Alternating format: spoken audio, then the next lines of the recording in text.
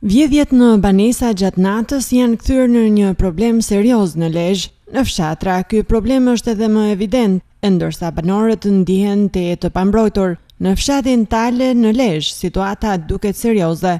Thuajse çdo natë ka vjedhje në të paktën një shtëpi, e ndërsa banorët, teksa bëjnë publike rastet, Shprehen se qëndrojnë zgjuar gjithë natën dhe se jetojnë me frikë. Zonën tonë mund të jetë mbi pesdhet herë i përsëritur. E kam denoncuar në polici absolutisht edhe tu ja tregu dhe personin.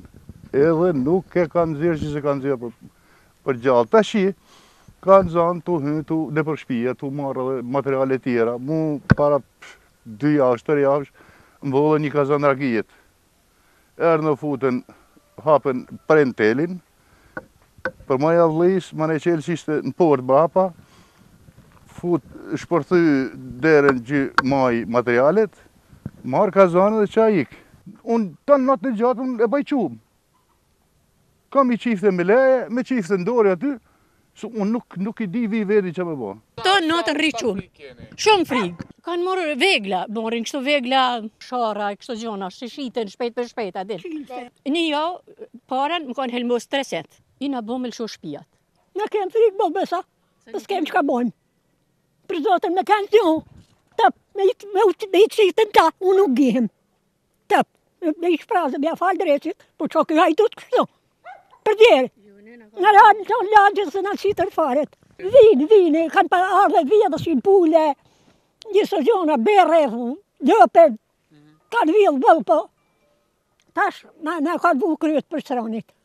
Më kanë vjedhë me nantmdhetë më kanë marrë i makinë,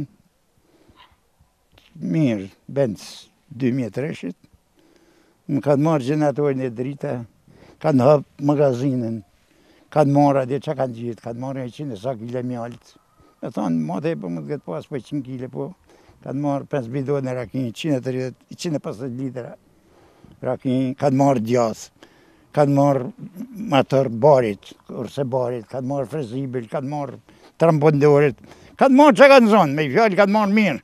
Të gjendur para një situate të tillë dhe denoncimeve të shumta nga banorët e fshatrave të ndryshme, Nga ana e policisë jashtë kameras bëhet me dije se do të ketë shtim të patrullave të policisë në këto zona, me qëllim ruajtjen e rendit dhe qetësisë publike, si dhe vënien para drejtësisë të atyre që janë kthyer në makthin e këtyre banorëve.